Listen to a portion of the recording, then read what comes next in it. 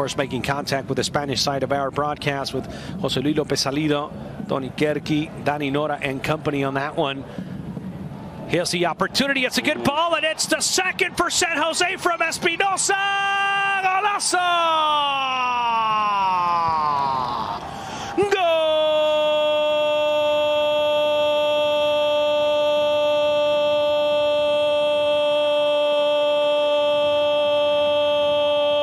Piercing through ball here from Cade Cowell.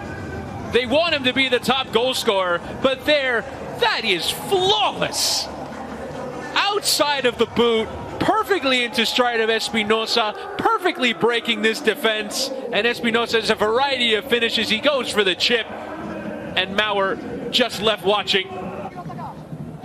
And I'd say a favorite for the regular season MVP this season. Good opportunity here for San Jose. The shot, what a finish! Goal!